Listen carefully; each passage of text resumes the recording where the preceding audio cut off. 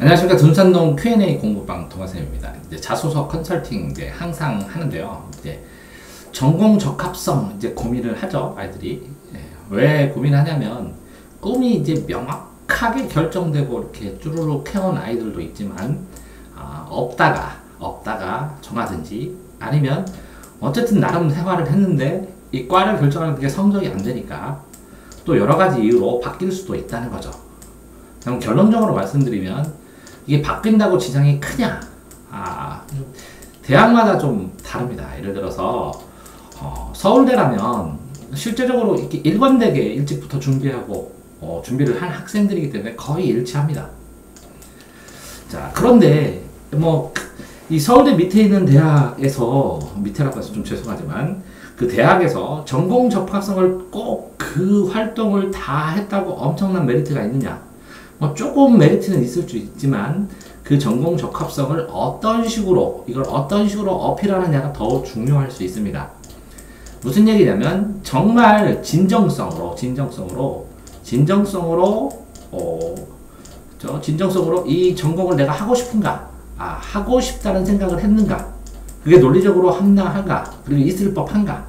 그러니까 이게 진정성이 실제로는 더 중요하거든요. 진정성으로 진정성 진정성 안에는 이 그 행동을 진짜 했는가 그 행동에서 그 아이가 그걸 느끼는 것이 당연한가 아그 느낄 수 있는 상황이 그 느낄 수 있는 상황을 아이가 실제적으로 했을 것 같고 뭐 이런 것까지 포함해서 얘기합니다.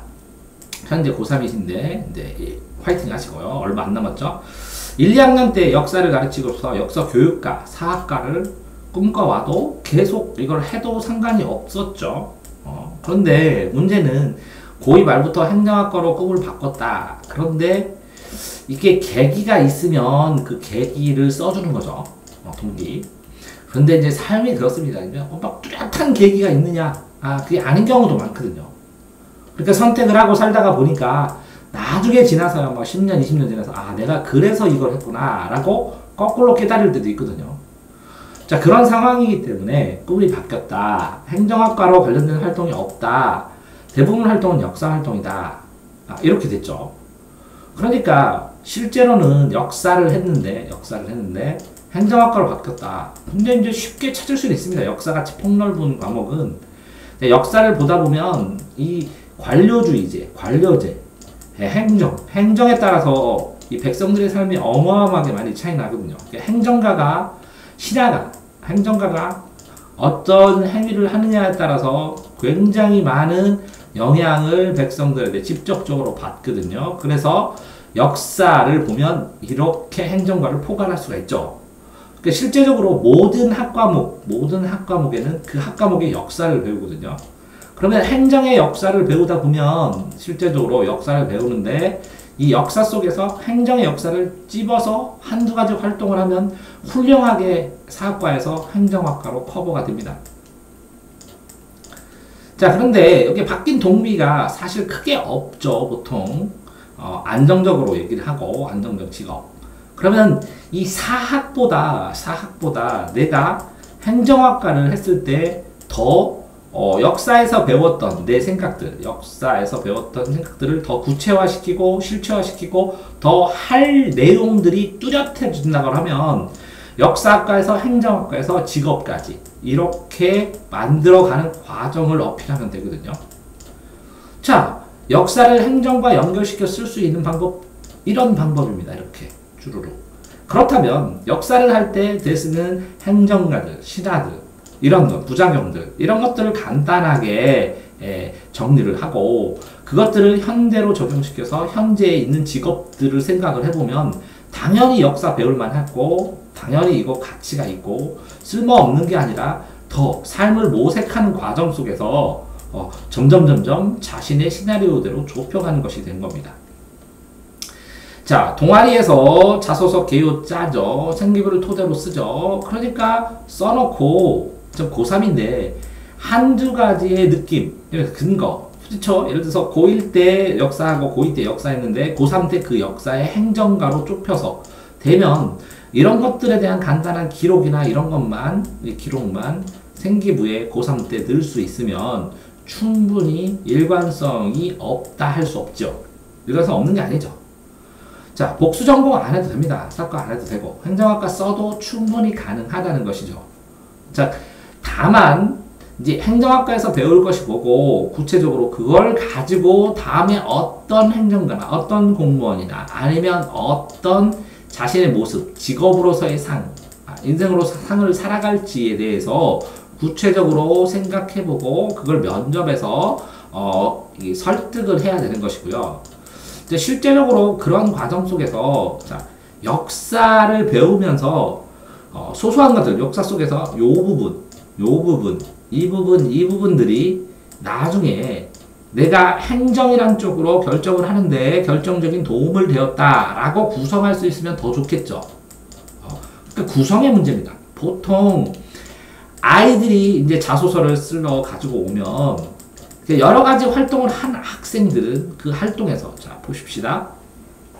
어떤 한 학생도 상담했지만 유기견을 돌보는 학생을 유기견 돌보는 학생은 자, 하나의 행동이지만 동아리가 유기견 동아리입니다. 전방 적합성에서 의대 아이들은 아픔을 보겠지만 경제학과 애들은 이 유기견이 아 반려견 시장이 엄청 크다. 그 다음에 음악 뭐 미술 같은 거 하는 애들은 유기견 패션샵, 캐릭터샵. 자, 그 다음에 아 유기견 역사를 하면 동물과 인권의 역사, 아 동물 역사에 대해서 어, 동물과 인권에서 법학도 되네요. 그러니까 이렇게 굉장히 아니면 유기견을 처리하는 처리하는 어, 어, 거에 대해서 그 시각으로 내가 이걸 봤다, 이걸 봤다, 이면을 봤다. 라고 하면 이 시각이, 이 시각 자체가 어떤 활동을 했다는 것도 중요하지만 이 활동 속에서 내가 이 시각을 얻었고 이 시각을 확정 짓는 데 도움이 됐다라는 것을 어떤 것을 어떤 걸 보고 그걸 도움이 됐는지를 기록하고 설득하는 것이죠. 어, 따라서 아이들이 이제 어떤 자소서에 있는 것들을 쭉 보면 만약에 이과를 간다면 이렇게 필요한데 이렇게 여러 가지가 있어요. 이과를 간다면 다른 과를 간다면 이거랑 이거랑 이거랑 이거가 필요하다라고 이렇게 더 주목해서 더 주목해서 초점을 두고 써야 되는 것들이 자기소개서를 쓸 때 드러납니다. 굉장히 이제 상위권 학교 가는 학생들이 활동이 많은데 그 활동을 다 실는 게 중요한 게 아니에요. 자, 손가락으로 저쪽 달을 가르치면 이 달을 보지 이 손가락을 보지는 않습니다. 그렇지만 이 여러 가지 활동 중에서 이렇게 또렷하게 내가 지칭할 수 있는 손가락의 의미가 뭔지, 이 방향성이 뭔지를 설득해야 되는 것이고, 쓰는 과정이 자기소개서예요.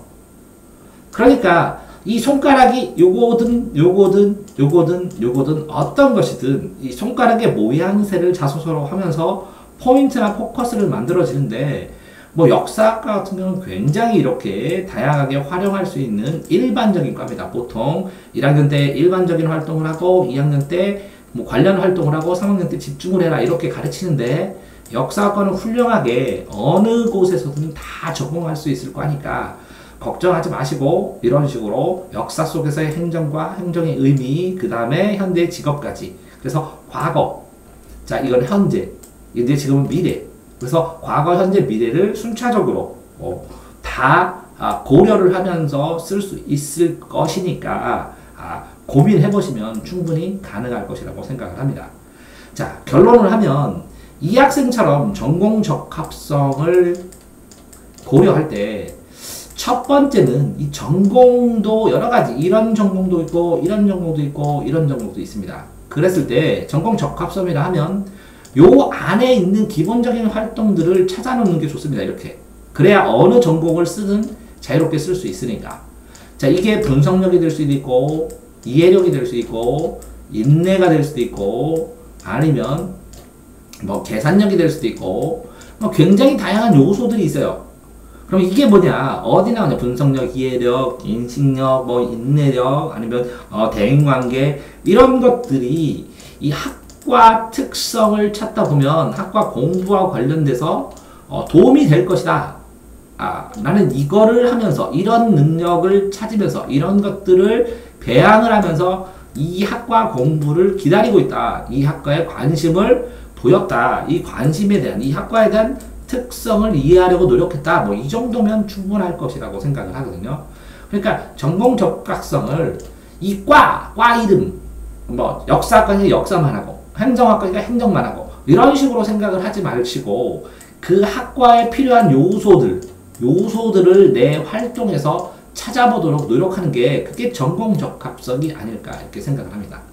대전 중산동 Q&A 공부방 동화쌤입니다.